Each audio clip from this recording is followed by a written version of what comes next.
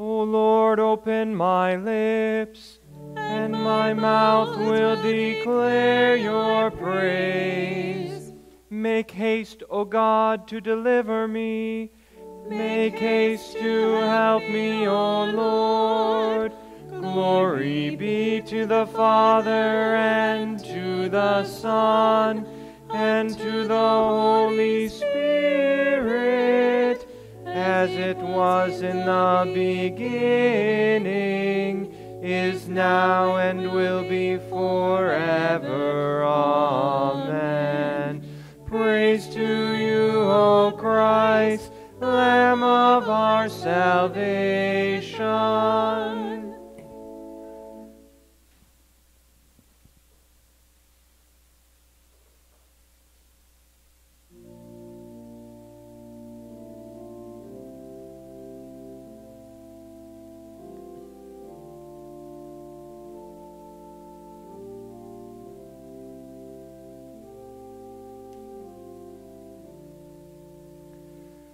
My God, my God, why have you forsaken me? Why are you so far from saving me from the words of my groaning? O my God, I cry by day, but you do not answer, and by night, but I find no rest. Yet you are holy, enthroned on the praises of Israel. In you our fathers trusted. They trusted and you delivered them. To you they cried and were rescued. In you they trusted and were not put to shame. But I am a worm and not a man, scorned by mankind and despised by the people. All who see me mock me. They make mouths at me, they wag their heads. He trusts in the Lord, let him deliver him. Let him rescue him, for he delights in him. Yet you are he who took me from the womb. You made me trust you at my mother's breasts. On you was I cast from my birth and from my mother's womb you have been my God. Be not far from me, for trouble is near, and there is none to help. Many bulls encompass me, strong bulls of Bashan surround me. They open wide their mouths at me, like a ravening and roaring lion. I am poured out like water, and all my bones are out of joint. My heart is like wax, it is melted within my breast. My strength is dried up like a potsherd and my tongue sticks to my jaws. You lay me in the dust of death, for dogs encompass me. A company of evildoers encircles me. They have pierced my hands and feet. I can count all my bones. They stare and gloat over me. They divide my garments among them, and for my clothing they cast lots. But you, O Lord, do not be far off. You, you, my help, come quickly to my aid. Deliver my soul from the sword, my precious life from the power of the dog. save me from the mouth of the lion. You have rescued me from the horns of the wild oxen. I will tell of your name to my brothers. In the midst of the congregation, I will praise you. You who fear the Lord, praise him. All you offspring of Jacob, glorify him. And stand in awe of him, all you offspring of Israel. For he has not despised or abhorred the affliction of the afflicted, and he has not hidden his face from him, but has heard when he cried to him. From you comes my praise in the great congregation.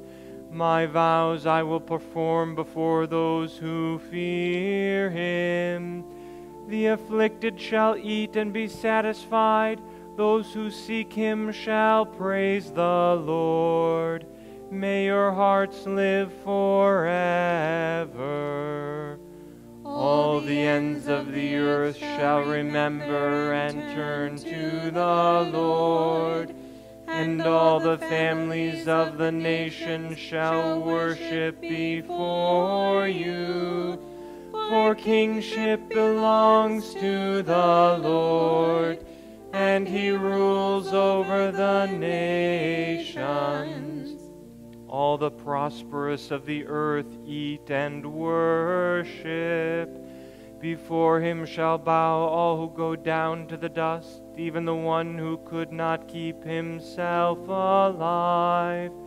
Posterity shall serve him. It shall be told of the Lord to the coming generation. They shall come and proclaim his righteousness to a people yet unborn, that he has done it. Glory be to the Father, and to the Son, and to the Holy Spirit as it was in the beginning, is now, and will be forever. Amen. You may be seated.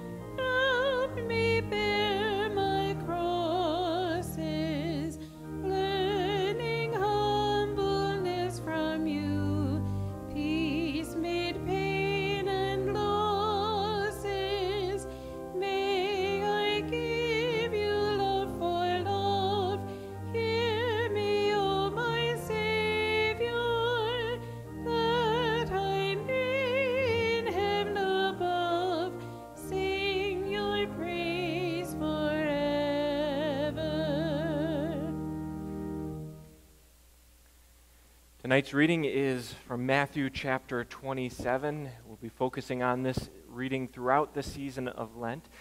Each week, taking a look at a different focus in the text. Tonight, we have our next piece of the Passion, the die. Die is singular for dice. Um, the soldiers at the feet of the cross cast lots, that's essentially dice, to receive Jesus' clothing. So we'll be exploring in tonight's message. The soldiers of the governor took Jesus into the governor's headquarters. They gathered the whole battalion before him, and they stripped Jesus and put a scarlet robe on him. And twisting together a crown of thorns, they put it on his head and put a reed in his right hand. Kneeling before him, they mocked him, saying, Hail, King of the Jews! They spit on him, took the reed, and struck him on the head.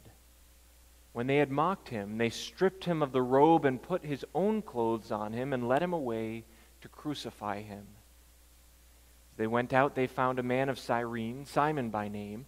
They compelled this man to carry Jesus' cross. And when they came to a place called Golgotha, which means place of a skull, they offered him wine to drink mixed with gall. But when he tasted it, he would not drink it.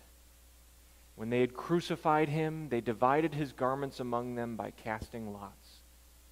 And they sat down and kept watch over him there. And over his head they put the charge against him, which read, This is Jesus, the King of the Jews. O Lord, have mercy on us.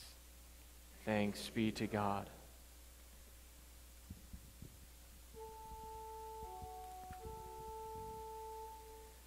Deliver me, O Lord my God, for you are the God of my salvation.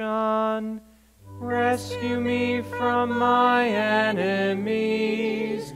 Protect me from those who rise against me. In you, O Lord, do I put my trust. Leave me not, O Lord my God. Rescue me from my enemies. Protect me from those who rise against me. Deliver me, O Lord my God, for you are the God of my salvation. Rescue me from my enemies. Protect me from those who rise against me. Grace to you and peace from God our Father and the Lord Jesus Christ. Amen. I've been privileged to spend two summers in Israel as part of an archaeological dig. The site we were working at was a Greek city overlooking the Sea of Galilee, and it was July of 2010. We were working nearing the end of the dig season, getting down to the floor. Now, the floor is where the interesting finds are, especially at this site where it was destroyed by an earthquake in the 700s AD. As we were working there, we're starting to clear away the last set of stones, and the man next to me has a pickaxe, kind of pries up the stone, flips it over, and there's a face staring out from painted plaster on the backside of that rock. It was the face of a god, a goddess, technically, the goddess Tyche. You probably know her by a better name, Luck. Luck wearing a, a crown around her head in the shape of the city gates. This was pretty common practice in the ancient world. Each town would adopt a god for themselves, and, and Luck was a very, very popular god. Luck was the one that provided prosperity and well being to the city. Luck was the one that continued to provide and protect that city, which is why Tyche was wearing that crown of city gates on her head. In the ancient world, luck was a god, something worth worshiping, someone worth attaching yourself to. Now, the trouble with luck, with Tyche, a little bit fickle. Sometimes she would do what you wanted. Other times, yeah, she kind of did her own thing. So, as much as you hoped for luck, whether you got her favor or not is another question. Now, today, we've mostly moved past that understanding of luck as a god or a goddess. But that phrase that we use all the time, good luck, was initially tied in with this goddess of fortune. Parts of that still cling to our cultural memory. You probably know the song, Luck Be a Lady Tonight.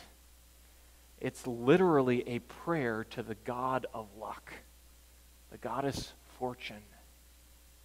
Now, again, probably used more figuratively in that song than a literal prayer to luck. But for us, when we think about this idea of, of luck, it's something of, of just random chance. You, you literally, the, the phrase is you, you throw your dice. It's a throw the dice whether you get something or not. Flip a coin, pull a name out of a hat, pick straws, whatever it is. We have this idea of luck that it is pure random chance. That there's no divine hand in it, there's no human hand in it, it, it just is what it is. You know, Scripture talks about things like that the throwing of dice, drawing of straws. In Scripture, they call it casting lots. You would cast lots for a number of things in Scripture, primarily for picking who's in charge of the priestly service this month. They were casting lots for, for inheritance of the land. Which tribe got which territory? Done by lots. Casting lots told you who was going to be a gatekeeper in Jerusalem. They cast lots to find out which disciple would replace Judas in that group of the 12. The book of Acts has that. We have this idea that, that casting lots, that throwing dice is a completely random thing. Yet the book of Proverbs says the lot is cast, but the Lord determines its outcome far from being a random event, the casting of lots, the throwing of dice, especially as we see it play out in Scripture, is another way for God to act apart from human effort. It's almost in this way we see it exclusively. I mean, man has no choice in how that, those dice land, loaded dice aside. Drawing straws is completely random. Name out of a hat, assuming no one has cheated is a way for humans to step back from that decision making process. It's a chance for God to act unilaterally in choosing whatever decisions being made, whoever is being chosen for office. Casting of lots is a divine act where God chooses something for his people. When we look at the cross, it almost seems like it's the, the very opposite of that kind of act. That at the cross, it seems like human beings are at their worst, doing whatever they can, using their hands. And it seems like God is far off away from this process. He's even forsaking his son. Of course, he's not at work here, is he? You even have that symbolic act at the foot of the cross, casting dice, casting lots to take Jesus' clothes. It's all random, right? It's mankind doing its thing, but God not present. And yet we do know otherwise. We sang just a moment ago in that Psalm 22 what almost is verbatim from Matthew's gospel.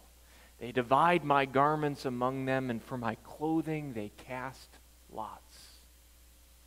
The throwing of dice, the casting of lots at the foot of the cross was foretold thousands of years before, hundreds of years, about a thousand years before Christ.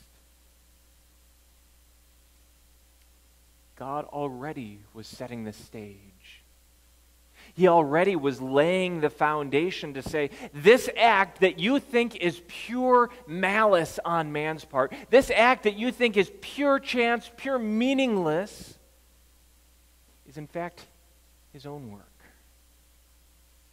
God's work through mankind's worst efforts to bring about life and salvation for you and me. The cross, we see God acting in a way that is, is veiled, it's hidden, it doesn't make sense to us. It is not clear at first reading. It takes the eyes given to us by the Holy Spirit to recognize, to understand, to see God at work even in the midst of this evil. Even today, I wonder how much we put stock in luck as opposed to God. I know, even myself, it's, it's just part of our vocabulary good luck instead of saying God's blessings. It's helpful for us to recognize that even the most random thing we can think of throwing dice is even in control of our God. He is the one that determines all of those outcomes. Now, there's another conversation worth having about the evil that is in this world and why does God allow some things to happen and not others. That's, that's part of another conversation.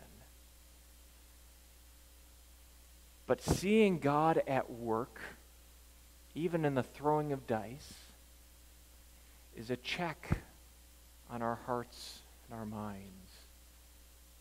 Now, we, we don't often attribute the throw of dice to any other foreign gods, even luck itself as a goddess. We're generally past that.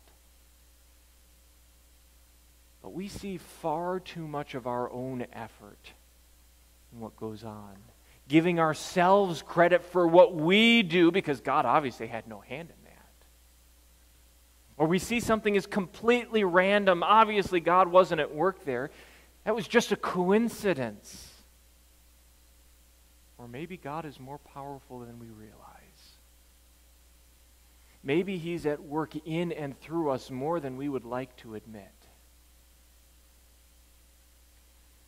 When we see Christ on the cross and the dice being thrown at His feet, in many ways our world is broken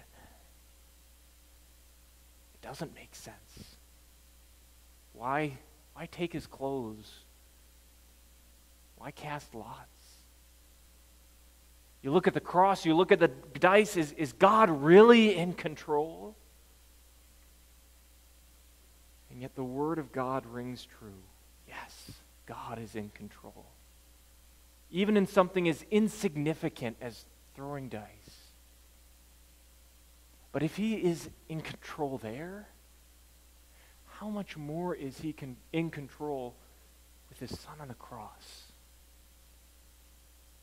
They're not just out of accident, not just because of the spite of human beings, but because of the plan, the foreknowledge of God.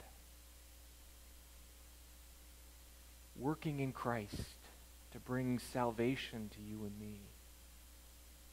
And if he's at work there, how much more is he at work now in you? Placing you in the exact moment in time, in the exact location he wants you to be, so that you may proclaim that Christ crucified. You may testify, bear witness to the truth that even a throw of the dice is not as random as you may think. We trust not just that dice bring us the favor we want. Try, trust in Christ. What we need is not to win at dice, but to receive Christ, who's crucified and risen for you, according to the definite plan and foreknowledge of God. Amen.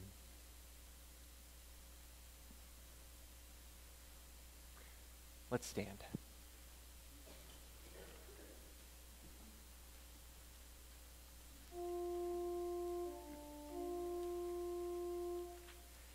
let my prayer rise before you as incense, and the lifting up of my hands as the evening sacrifice.